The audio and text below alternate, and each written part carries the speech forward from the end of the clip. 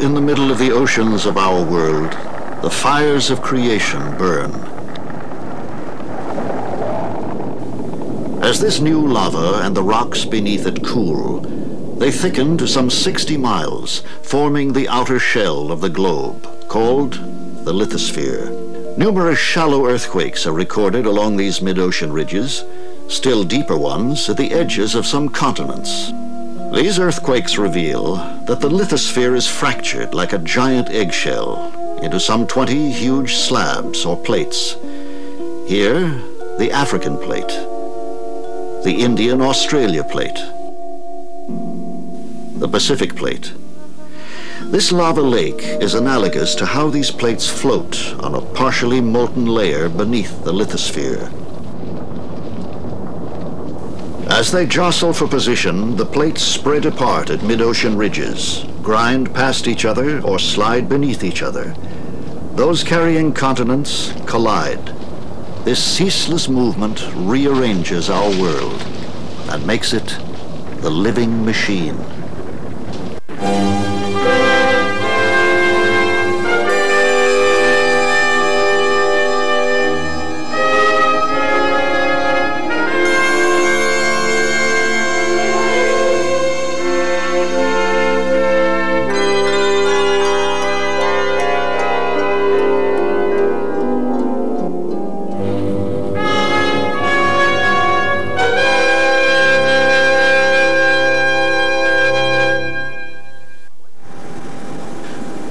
When we view the seemingly immutable mountains and canyons that surround us, it is hard to believe that the planet we live on is in constant flux.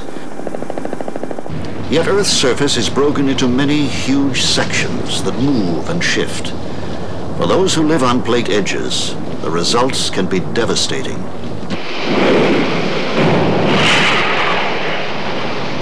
This extraordinary film of an earthquake in Japan was captured in May 1983.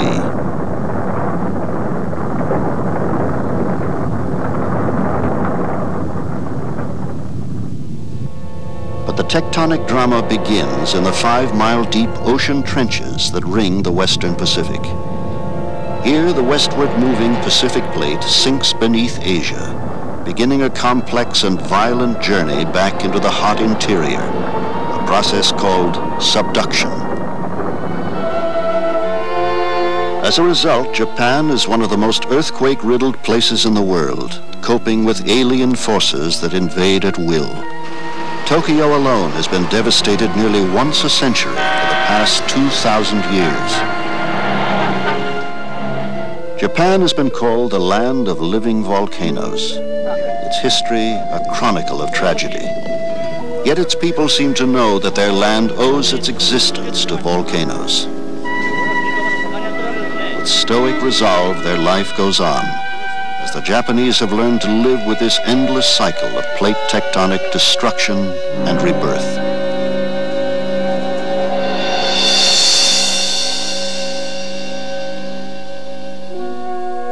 Along the southern edge of the Asian mainland are India and the Tibetan Plateau, punctuated by the Himalaya Mountains.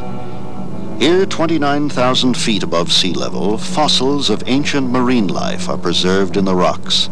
They tell the remarkable story of another plate boundary where continents collide. More than 40 million years ago, the northward movement of the plate carrying India crashed into Asia and the Himalayas were born.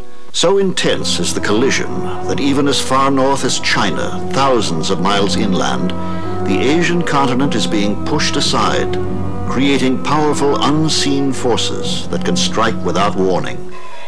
A dramatic example of this came on the morning of July 28, 1976, in the Chinese city of Tangshan. Ravaged by a colossal earthquake, 20 square miles of the city collapsed in total ruin. As many as three quarters of a million people died in a tragic and dramatic display of plate tectonics. Another kind of plate edge is marked by the San Andreas Fault on the coast of California. Here, the Pacific plate moves violently past the North American plate. April 18th, 1906.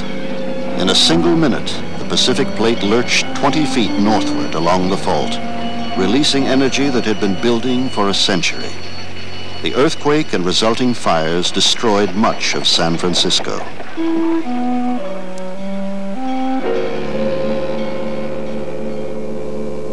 Today, California's San Andreas is among the most studied faults in the world. A specially equipped NASA jet allows us to see some of its most striking features from the air.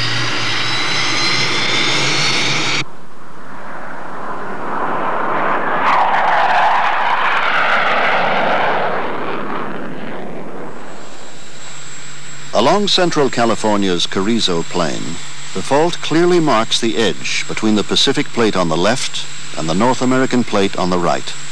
Here, as perhaps nowhere else, a boundary between two plates is dramatically visible.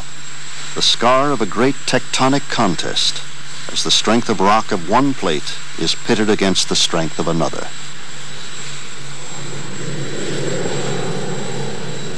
The fault extends from beneath the sea. It begins where Baja California has been split from Mexico, runs up on land, and splinters California in two for a thousand miles. Despite popular misconception, California will not sink into the Pacific. Instead, it will slide ever northward. In 15 million years, Los Angeles will be a suburb of San Francisco. The Giants and the Dodgers could again be crosstown rivals. But what concerns scientists most are places where the two plates are sticking, building ominous stress. Each day, the tension builds and the cities along the fault continue to watch and to wait, asking not whether, but when and where.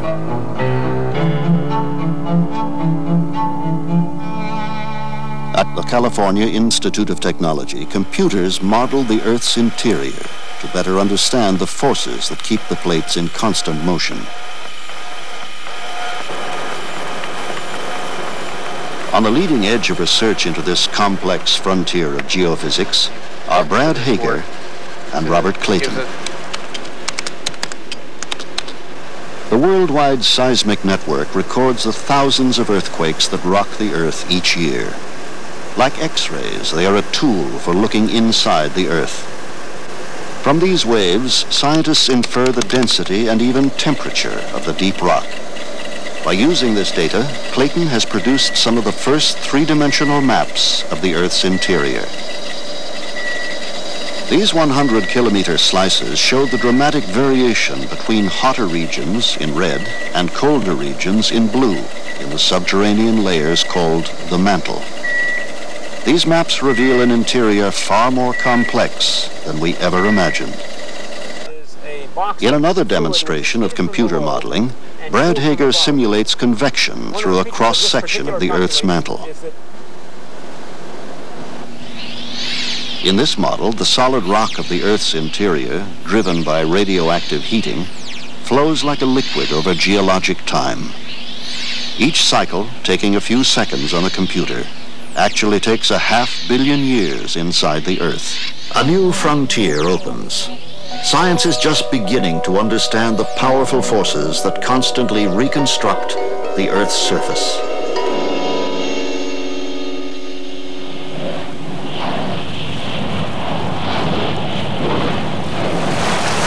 Kilauea volcano on the island of Hawaii, a powerful testament to the paradox of creation and destruction. Much of Hawaii's legend grows from this striking spectacle. The fire goddess Pele lives here, beneath the molten flood.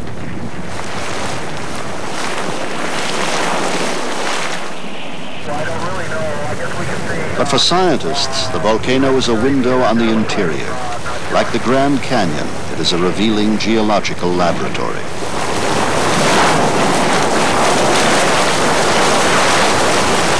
Located in the middle of the Pacific Plate, Kilauea is mysteriously thousands of miles from a plate edge where most eruptions occur.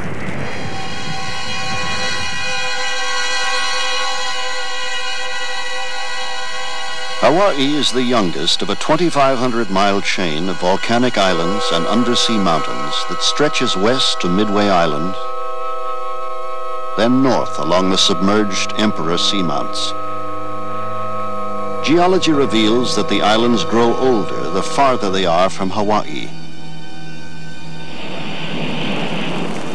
What causes this unique chain of volcanoes to form in the middle of the Pacific Plate? In a remote area of the Big Island, scientists from the U.S. Geological Survey's Hawaii Volcano Observatory begin an unusual task.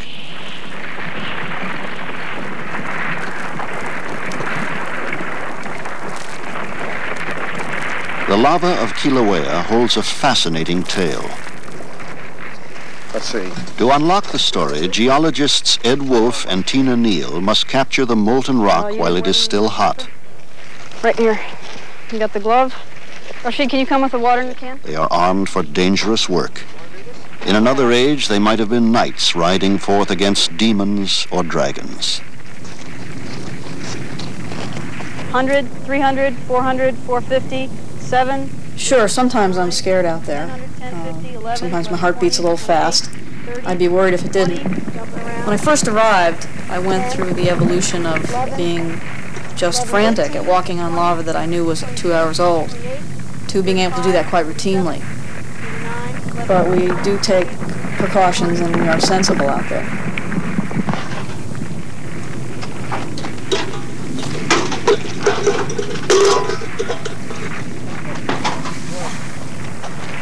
You go back and get the asbestos glove, the white glove? Right behind you. Time is crucial. As the 2,000 degree lava begins to cool, its chemistry begins to change. Telltale gases are lost, erasing secrets of its origin and composition. Water cools the lava, turns it to glass, and freezes its message in time. This is as close to the Earth's deep magma as scientists can get. Unlike volcanoes on plate boundaries, Kilauea's lava contains untouched primordial elements from a source two billion years old.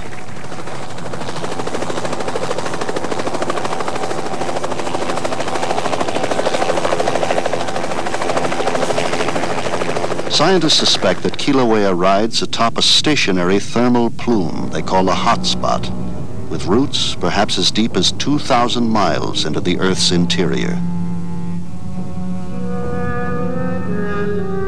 As the plate moves over this rising plume of molten rock, one volcano after another is built. Hawaii itself is moving off the spot. 19 miles south, a new volcano has risen 8,000 feet above the sea floor, still some 3,000 feet below sea level.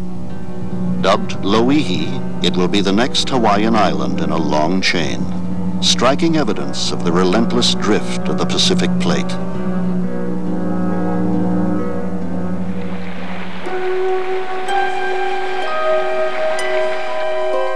The Mississippi River, site of the largest earthquake in American history, some 20 times more powerful than San Francisco's devastating 1906 quake. In the winter of 1811-1812, three massive quakes changed the river's course and altered the landscape for hundreds of miles. The earthquakes were centered near the Mississippi Valley town of New Madrid, Missouri, once envisioned as the gateway to the West. Today, New Madrid is a peaceful Midwestern community. But in 1812, it disappeared.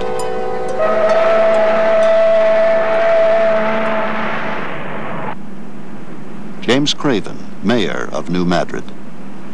Good spot to see where the old town was because the old town is right uh, in the middle of the middle of the river.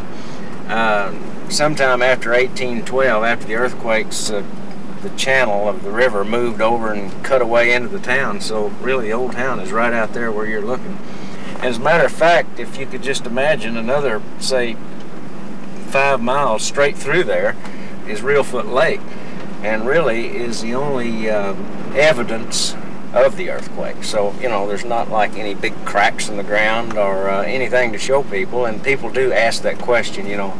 Uh, they want to see some evidence of the earthquake, but, uh, you know, there's just nothing you can tell them except, uh, you know, hang around. Maybe you'll get in the middle of one of them.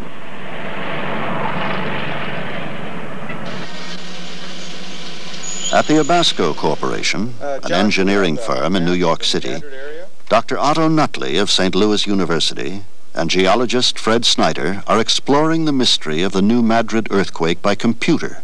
What we see here down the center of the map is What caused this massive disaster hundreds of miles from a plate edge where most earthquakes occur? And here's the city of New Madrid up at the Kentucky bend of the Mississippi River.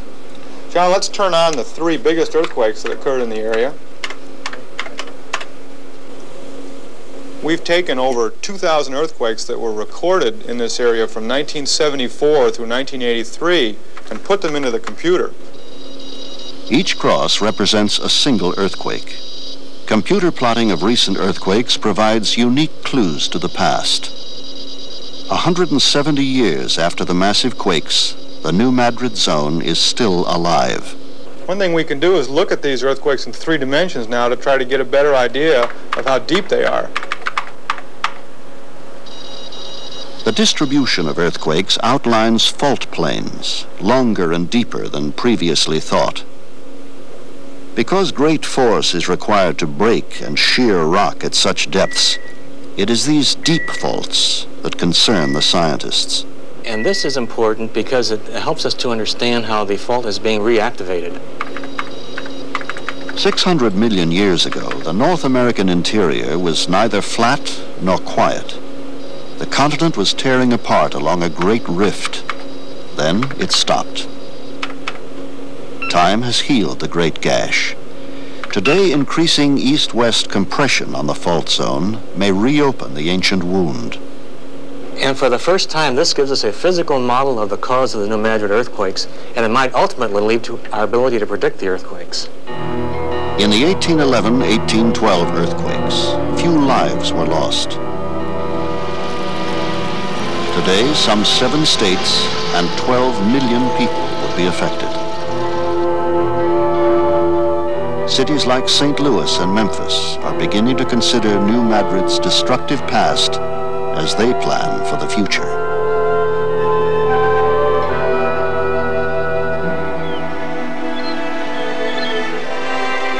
Elsewhere, another new frontier of continental tectonics confronts science. The famed Golden Gate Bridge links the Marin Headlands to the city of San Francisco. For tourists, it is a landmark, but for scientists, it is a footbridge to a foreign land. Bonnie Murchey, David Howell, and Davy Jones of the U.S. Geological Survey are pioneers of a revolutionary new theory about the assembly of continents called microplate tectonics. By studying marine fossils locked in the rocks of the Marin Headlands, they have discovered that the all-American city of San Francisco came from someplace else. You know, I used to have a paleontology professor who used to say you should never lick rocks because you can get some kind of Terrible disease. I think we've all got it. Primitive one-celled organisms called radiolaria thrive in the sea. Like myriad invisible plankton, their skeletons drift to the ocean bottom when they die, forming part of the sedimentary rock.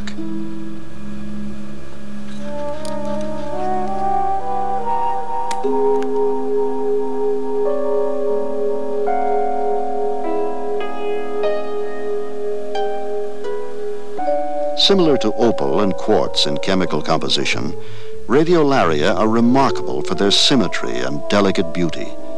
They have been likened to living snowflakes.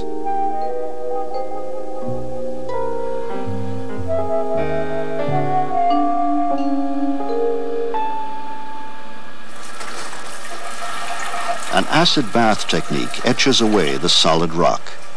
Carefully, the harder shells are released to tell their amazing story, free from the bondage of a hundred million years.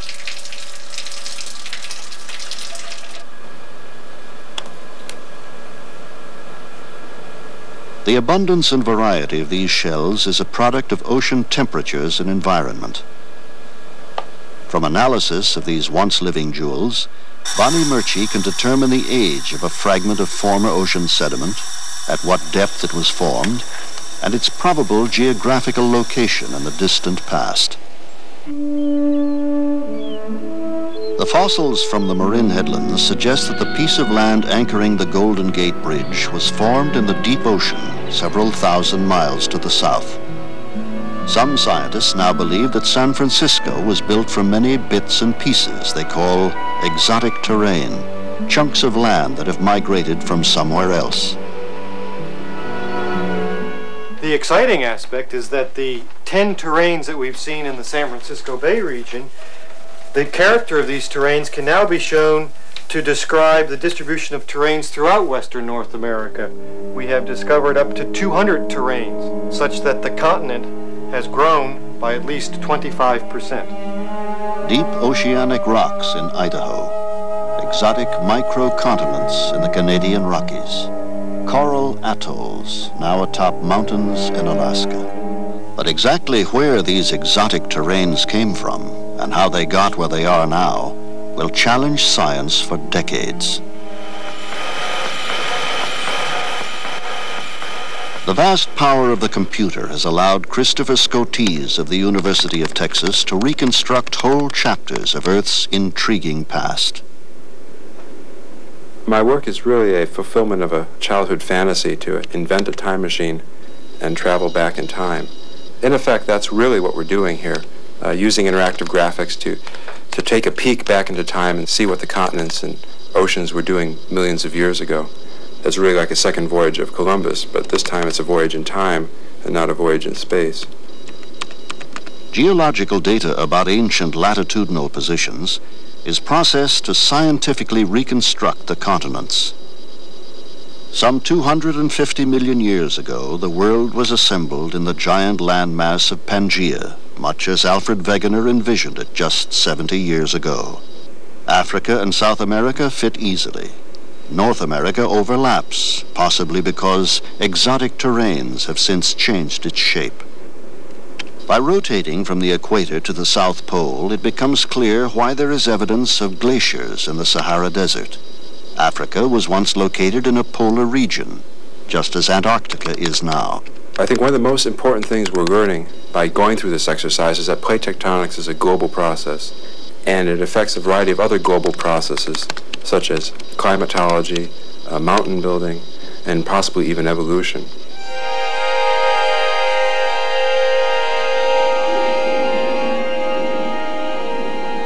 This turtle is on a 1,200 mile journey. Each year, green turtles swim from their home along the coast of Brazil to a tiny nesting ground in the middle of the Atlantic Ocean. Their destination is a remote volcanic peak along the mid-Atlantic ridge. The barren rock of Ascension Island is the setting for one of the most remarkable dramas in evolution.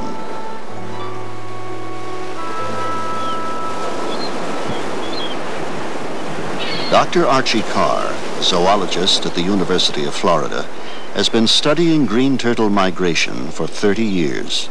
It's easy to see why um, turtles nest on islands. There are not many predators on islands compared to mainland shores. Down in Brazil, for instance, there used to be jaguars roaming up and down the shore. They would eat the adults nesting as well as the young and the eggs and everything else there practically. Every other carnivore does the same. But the big question is, why do they go all the way out to such a distant island in the middle of the ocean? How did it ever evolve? Now I've come to understand that it wasn't under present geographic conditions. Plate tectonics has now given us a beautiful explanation of how this thing could have slowly been acquired without killing them all off as they uh, made that effort. As Africa and South America split, a succession of islands emerged, then disappeared as they moved away from the mid-Atlantic ridge. As the ocean grew wider, the distance to each new island grew longer. Gradually learned over millions of years, these hatchlings will swim much farther than their distant ancestors, and even farther than those who brought them here. If Archie Carr is right, plate tectonics may have shaped the genetic code of the green turtle. The drifting of continents may have programmed life itself.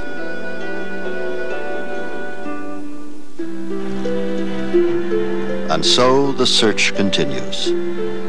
To learn how Earth's internal heat engine drives the plates on their long journeys across the face of the planet. To discover the Earth's vast and complex history as revealed in the rocks. To investigate our living machine and its endless cycles of creation and destruction. And new tools and technology in space will allow us to see in new ways to continue the rediscovery of planet Earth. But the more we learn, the more we want to know. The words of T.S. Eliot amplify the scientific paradox.